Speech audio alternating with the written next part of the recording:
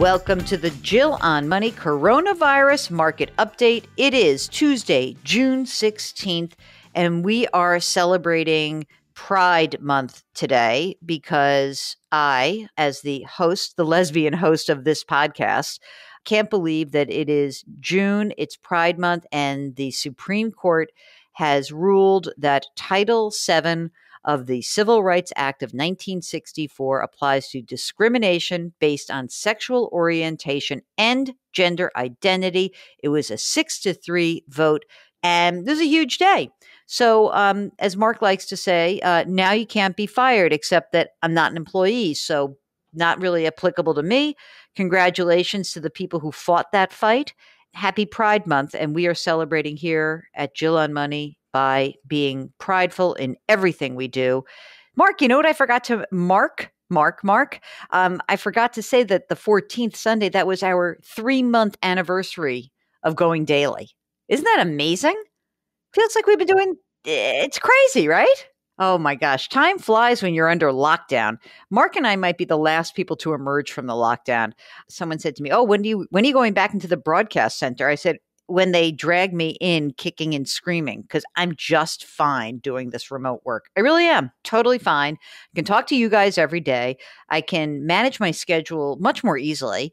And frankly, it's uh, not that big a difference. You know, maybe the the broadcast quality is not quite as good, but hey, we're talking to you every day. Mark's working his fanny off trying to juggle his kid and his relationship and his cooking and these daily updates and all the stuff that he does. I'm going crazy juggling TV and radio and writing and all that nonsense and walking dogs.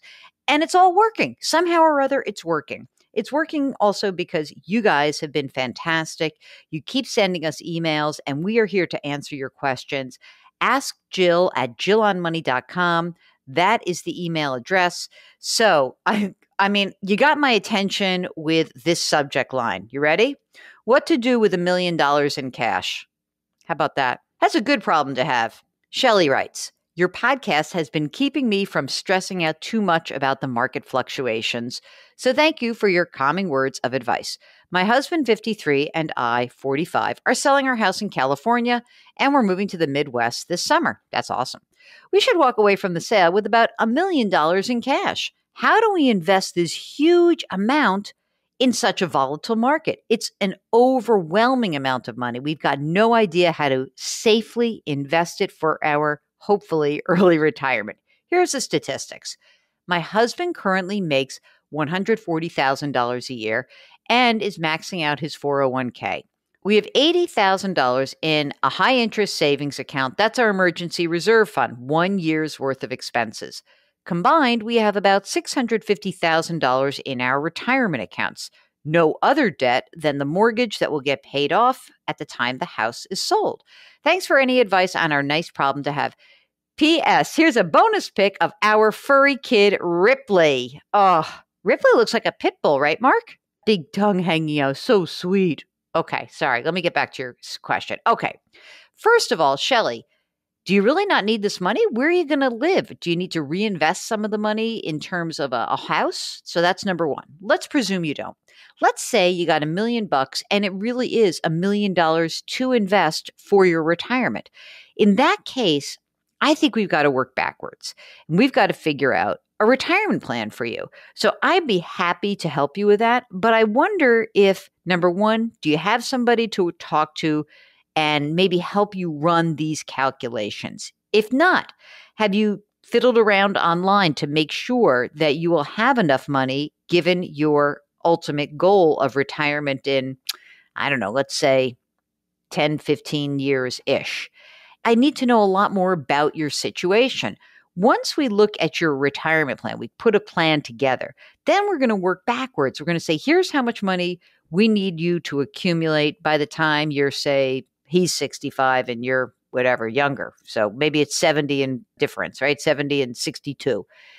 Then we're going to try to invest to reach that goal. But I think we're kind of uh, putting the cart before the horse if we don't look at your retirement planning first, then we don't understand what the goal is with the million bucks. So I need more information.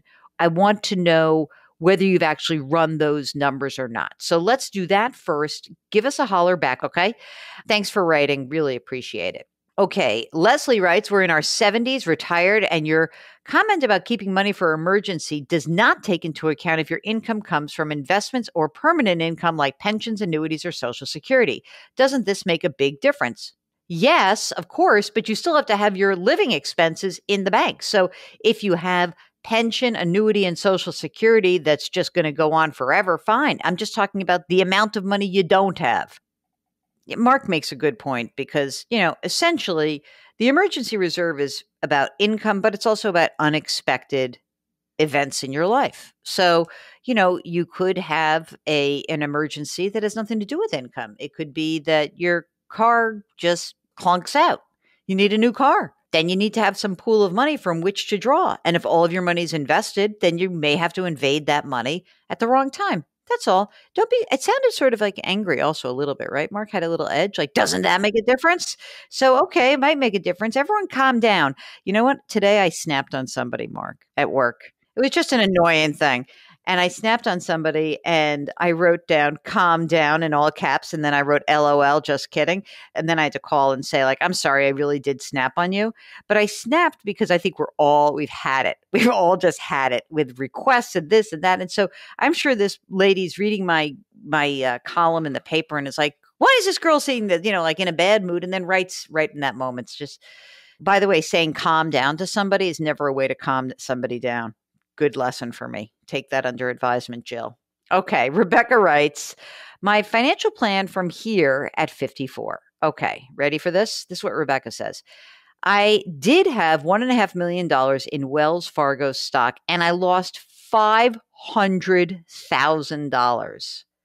I tell you, I think my stomach hurt right now.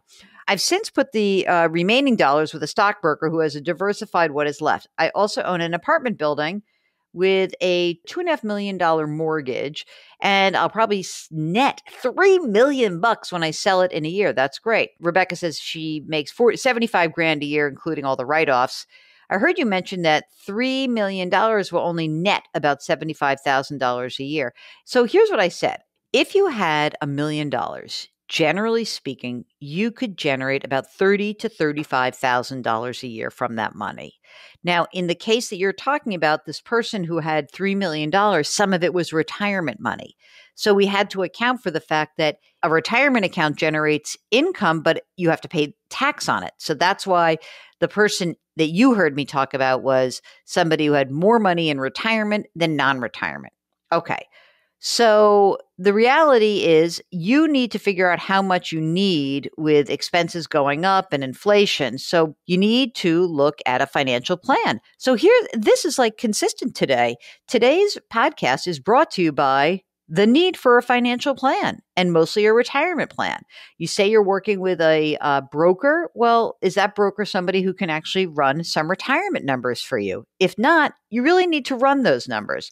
And in your case, maybe the $3 million plus the million dollars you have from your Wells Fargo stock will be plenty of money.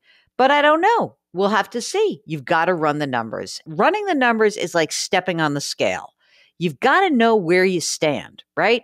And you may not like the numbers. You may like the numbers, could be okay, but you got to actually do something. You've got to measure where you are, project where you need to be, and then you can come up with a plan of action.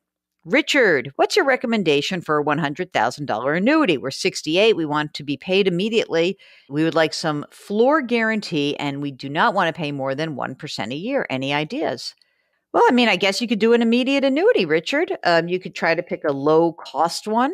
If you want to get paid immediately, an annuity might do it, but you're going to lose the access to that hundred grand. And I don't know if you can do that or not. That's really predicated on your situation and what other assets you might have. Margaret writes, I love reading your column, and today's topic regarding an emergency fund struck a chord with me, as we will finally be able to set one up after we settle in July on the sale of our investment rental property. Yay! We have some significant credit card debt to pay off as well with the money that we've earned. My question for you can you explain the rules on options to avoid paying capital gains taxes? Do we have two years to invest that roughly $40,000 we would owe the government into another property? We will be applying for financial aid for our first child to go to college in the fall of 2021. We're trying to be smart about assets. We would love to have that money continue to work for us rather than simply pay the tax. Thanks so much. I appreciate your time and consideration. Well, I mean, you need the money to pay off the credit card debt, right? And you need the money for an emergency reserve fund. So here's what I'm going to suggest pay the tax due and don't worry about it. You need liquidity. You need access to your money. So I would say it's more important that you actually do that than tie up the money in another real estate venture in order to avoid taxation. I say pay the tax and move on. Okay? Does that make sense? I hope so. All right. It is yet another day. It is Tuesday. Uh, and you know what? It's going to be one of those crazy weeks. I just have the sense of it. It's early on. If you need some help distilling the news, understanding what's going on, figuring out what you need to do in your financial life, just send us an email. Ask Jill at jillonmoney.com. Ask Jill at jillonmoney.com. Don't forget, keep hearing about these cases spiking up. My mother just told me she was in New York City and she saw what she called a bunch of dopes sitting too close together outside on the sidewalk eating. Okay, mom, I promised that I would tell everybody not to do that, so don't do that. Listen to my mother. Susan knows best. Stay away. Maintain that social distancing. Wash your hands, wear your masks, and do something nice for somebody else. Put your hands on someone's back, lift somebody up. Please try to do that today. Thank you so much for listening. We'll talk to you tomorrow.